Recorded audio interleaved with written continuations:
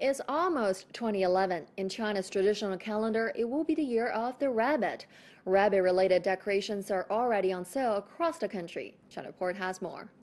It's still two months to go to embrace the year of rabbit.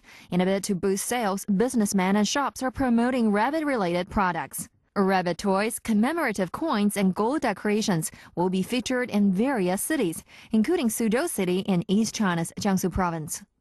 According to a 12-year cycle, the rabbit sign is one of the 12 animals relating each year. The animals are in order as follows. The rat, ox, tiger, rabbit, dragon, snake, horse, sheep, monkey, rooster, dog, and boar.